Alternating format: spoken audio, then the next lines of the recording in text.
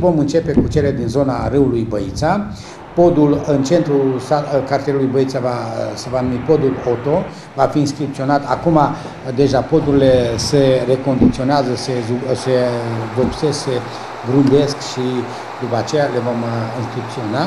Podul Oto se cheamă, deoarece acolo stă un băiat care a fost consilier și pe vremea lui am început construcția lui, finalizat acum 2-3 ani. După aceea urmează podul Cati, Podul Cati este dat după numele unei inginere de la apele române care locuiește în zonă și am început construcția lui când uraganul Katrina în America își făcea uh, de cap și a produs multe pagube. Chiar noi, noi eram în construcție cu acel pod și ne era frică, zic dacă vine uh, o viitură mare pe, pe Valea Băiței, ne va dărâma podul, dar am scăpat și iată că podul Cati deja este construit, construit cu lucrări de artă și uh, este un pod frumos. După aceea urmează podul Cota, care este în uh, avală pe râul Băița față de cartierul Băița.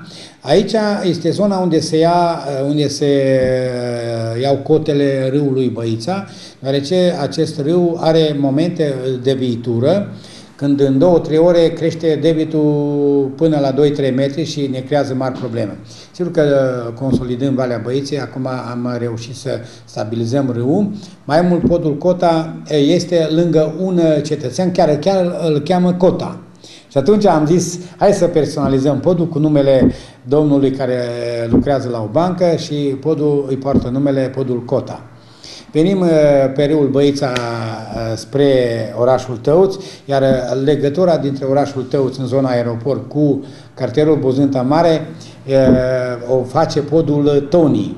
Aici am zis ca să fiu și puțin obraznic și să nu mă considerați lipsit de modestie, am construit acest pod care face legătura cu cartierul Bozânta Mare, tot timpul era pericol, podul vechi era din lemn, Acum este un pod frumos și eu uh, consider cartierul Bozânta fieful meu, pentru că fiind medic veterinar, acolo sunt mulți crescători de animale și chiar uh, campaniile electorale totdeauna mi le lansam la Bozânta Mare. Și atunci am zis, hai să dăm uh, numele podului după, după numele meu, scurt Tony. Mergem mai departe pe râul Nistru, legătura dintre cartierul Bușac și zona rezidențială unde se vor construi 1000 de case deja sunt licitate uh, terenurile, uh, concesiuni, zona rezidențială, acolo am construit podul Ronelo. Știrile cele mai tari din Maramureș. Am găsit două victime. Lovit de fulger în stop. Reale, șocante și necenzurate.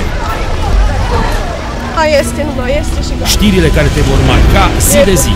Știrile pe care le afli mereu primul.